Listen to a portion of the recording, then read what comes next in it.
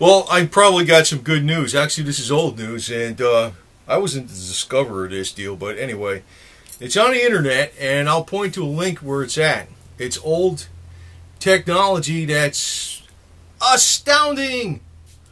For real. I'm not even playing drama here, man. It's it just blows my mind. This has been out for a couple decades or something. More than that. It's accessing the primeval code. In other words, um, now I just showed you my Lakhovsky multi-wave oscillator, which is a portable version with one one Tesla coil. Now it's maybe a little bit along something of that lines because I'd almost think that something like that could possibly even have an influence on it. But what goes on is there's a way, and they've known this since the early 90s. They've known this since the early 90s. Large, large uh, major corporations actually called, uh, actually it's uh, it was Cibra, C, C, CIBA, the pharmaceutical giant. They were actually doing experiments with this back in the early 90s. Now they're known as Novartis, and um, well, it looks like it's one of those deals where uh, a lot of entrenched industries would be out the window, and maybe maybe the depopulation plot would be out the window too. Well, um, well, anyway, let me cut to the chase on this deal. It looks like you can actually take GMO, GMO, genetically modified seeds and organisms, and make them go back even better than the best organic with an electrical current, more or less. Well, now they're saying is it's not exactly putting the electricity through the seeds themselves or the fish eggs or whatever it is. They're actually on a plate, and um, it's like it says seeds, grains, and fish eggs were exposed for several days to an electrical field. The top was negative and the bottom was positive on these plates. And the electricity was not flowing through the seeds. It was very, very high electricity, but it was not flowing through the seeds or the fish eggs. But it was, there was like a field there, something going on. Almost reminds me of um, the Lakhovsky coil. That's that's why I put it in front of this video. So the the top, the bottom plate of the plate of the bottom electrode was a plate of a mesh connected to a positive or ground. The top electrode was to a negative pole at a DC uh, with a uh, DC generator with one kilovolt to several tens of kilovolts in range. But the electricity was not going through the actual fish eggs or anything like that or the seeds. Um, he says, in other words, the space between the electrodes must not be conductive. But something else is going on here. It's almost like it reminds me of that Lakhovsky coil. Like you're not actually getting zapped with the electricity, but it's putting some kind of energy around into you or doing something. Negative ions. I don't really know exactly. I don't think anybody knows. But they found that um, it's just an electric field ranging from 750 volts per centimeter to 5,000 volts per centimeter. But there's no current flow going through it. It's like you have the positive on the bottom and a negative on the top with all this high voltage. But it's just being applied up here, and you got the seeds or the fish eggs in between. And what happens is it wakes up, it does not change the DNA, but it turns off the junk DNA and it wakes up the primeval code. Like the code that was in there with the strongest genes or strongest DNA. So, in other words, they found they were able to grow. They from the fish eggs they had uh, giant trout that came out that were extinct in Europe for 130 years. Um, that that was came out of the fish eggs.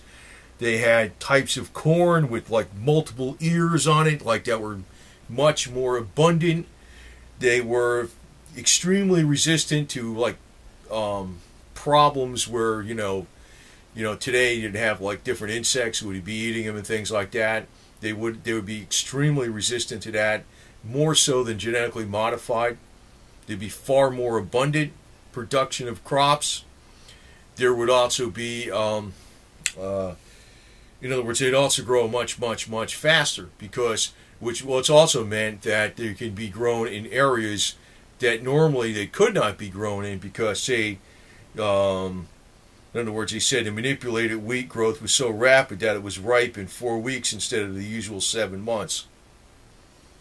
So it took a one month to grow wheat, where it usually took seven months. So that pretty much leaves it open to grow wheat pretty much everywhere, right? That's another thing. Big deal, ain't it? Well, ask Bill Gates about this. Um, buy Linux. Screw Microsoft. or I don't even have Linux, but anyway, I don't know how to use it. That's a problem, you know. But uh, I don't like that Bill Gates guy because you know why. You know why, right? But basically, it says they do not involve. You see, with GMO, genetically modified, they are actually modifying or inserting something into the DNA of the plant to make it resistant to Roundup or to make it so pests, if they eat it, they die or something like that because it has something in it that kills them. This does not involve a mutation of the seed or the fish egg or anything like that.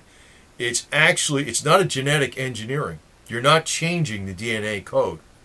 What you are actually doing, there's no new organism being created like in genetically modified. What you're actually doing is you're retrieving the strongest and best gene expressions in the DNA, the primeval code. That's amazing. Now, how do you do this? I don't know. you know, it looks like you got to have between uh, one kilovolt and or 1,000 volts and and uh, 5,000 volts. You know, that sounds almost like the Tesla coil deal, doesn't it? Except you don't want the electricity to go through the um, it almost reminds me, I mean, almost like the Lakhovsky coil with the Tesla coil. Like when you're transmitting an energy from, actually, the real Lakhovsky coil used like three Tesla coils and a sending uh, array of copper coils and a receiving array of copper coils. Like that one I got there is a cheaper one, it's less expensive, you know. It's not thousands of dollars. I think it was like 950 or something like that, right? It's a thousand with the shipping around there. You know, it's not big bucks, you know. But I, I think it I notice when I get in front of it, though, it gives me more energy or something. But I start thinking, wow, that's pretty cool. Because, you know, if you had this, it's almost like, you know, what you could almost almost think would, would work. You know, because it's not, I don't think this is actually like a pinpoint science. Um, you could probably take the multi-wave oscillator and expose, you know, a true one, or even like say one that was kind of along the lines, because you know, I'm not sure if it has to be the exact perfect one that Georges Lakhovsky did, but that might even be better.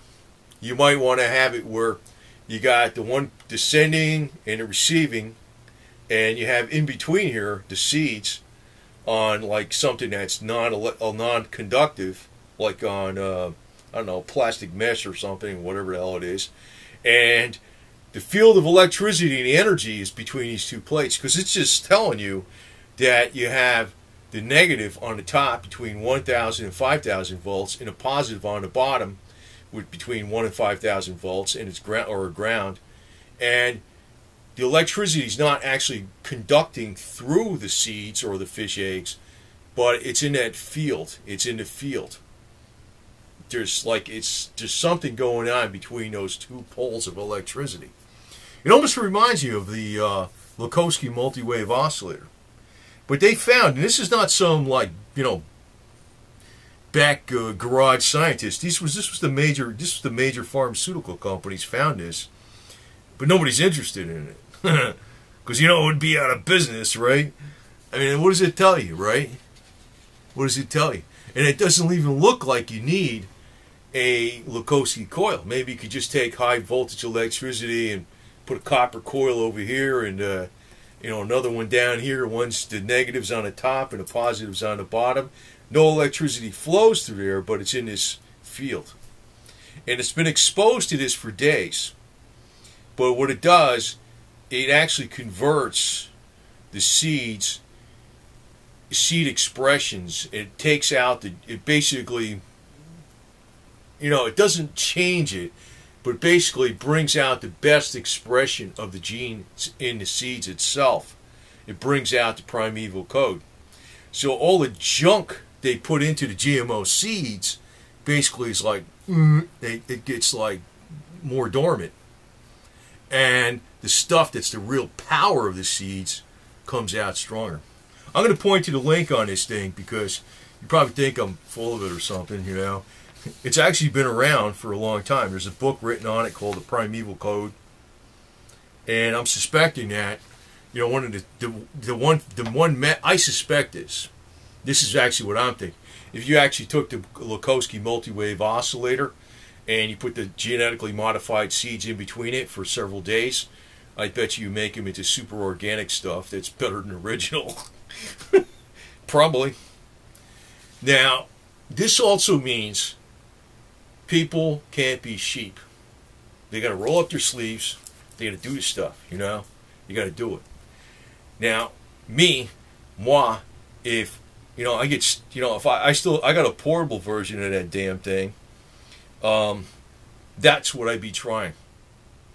You know, if I get into growing something and we're all stuck with genetically modified from Monsanto, well, the underground is going to have to go with the Lakhovsky multi-wave oscillators and bring out the primeval code.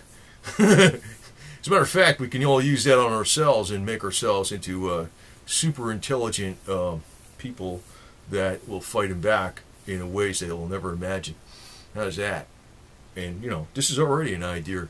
You never heard this one anywhere, did you? Did you ever hear this? Change GMO seeds back to better than freaking organic? Huh? They know that they I didn't develop it, okay? I didn't develop it. It's right on the internet for crying out loud. And it's not some gossip conspiracy site. You know, I didn't get it off of, you know, I don't want to name these sites. I got it off, it's actually right on here. This is like from the biggest pharmaceutical companies. They knew about this since the early 90s. But I'm suspecting that the Lakhovsky coil is probably even a better method to do this with than even just the regular electrical fields where they have, you know, the the negative on the top and a positive on the bottom. You're putting some kind of energy through there. You're awakening things. So you, what you're doing is you're awakening a gene expression that's been dormant. And then when that the seeds are exposed to this, and then when they're planted later on, they grow into like super crops. Like they gave an example, wheat grows in a matter of well four weeks or a month, a month versus seven months. You know the implications of that? It means there's a wheat growing season pretty much everywhere on this earth, no matter how cold it is, practically. I mean, it's not too many places that, you know, almost every place on the earth has at least like a one month growing season for wheat. You know, probably Canada and stuff, you know what I mean? No problem, right? And, um, you know, the thing is, it's also far more abundant, far hardier, and everything else. It's, it's in other words, it's more hardy against uh, problems with insects and other things. It doesn't get attacked that easily. It's very robust. It's almost like having the qualities of wheat. And I'd imagine it would be more nutritious too. I'd almost you'd almost have to figure, ergo, you know, if it's doing all that, it's probably the opposite of GMO in nutrition and what it could do for the human body. It might be one of the, you know, might be a wheat that's actually good as taking hemp seed or something like that, right? Now, is that, a, is that not an amazing story? And I'm going to tell you where, you know, I, I'm kind of like, you know, taking this a little further than what the article says or the book says. And I'm also, my idea is about, my, it's strictly my idea about the Lakhovsky multi-wave oscillator, but I, I have a tendency to think that that would be even a faster way to bring out the code in the seeds, but that's untested. They were just using electricity. Remember, the electrical current does not go through the seeds themselves or the fish eggs. It actually is just in the field. You got the positive on the bottom and a negative on the top, and there's like a, you know, a, a screen here, a non-conductive screen holding all that stuff, and you know the seeds in place, and it's in this field of energy, and it's bringing out primeval DNA. It's bringing out the strongest DNA expressions in the seeds themselves while at the same time, the weakest expressions of the seeds, like the GMO modified garbage, are being like, you know, it's not changing nothing. It's not changing nothing. It's leaving it the same. Well, I hope this, you know, this is one video I hope gets around, you know, not just for me personally or anything like that, but it's almost like, you know, people, the biggest thing they got where I see uh, there's a problem with, uh, you know, the powers that be are trying to control the population. And you see the first tenant on the Georgia Guidestones is keep the population within um, under 500 million, right? Guide humanity with reason, guide reproduction, you know, with diversity and, you know, the best biological experiments we can produce or whatever. Well, you know, I mean, who the hell, who wants the elite to do that? You know what I mean? I mean, for all I care, you know, actually people can say, we're going to take charge of our own health, we're going to take charge of our own growing of our own crops, and we can actually improve the world, uh, make it far better for everybody involved, than rather than have a bunch of freaking micromanagers with a bunch of big fat egos trying to tell everybody what to do. We don't need them. But first, we need to not be one thing not be one thing, and that is called sheep. Because actually, in my opinion, sometimes I think sheep are much bigger fighters than a lot of the human race. I'll leave you with that thought, but uh, this is a big deal. This is a big deal. And it could throw a big, big, big monkey wrench into the works of the New World Order to the max, and Bill Gates, and George Soros, and all those rest of those yo-yos. Anyway, have a nice day.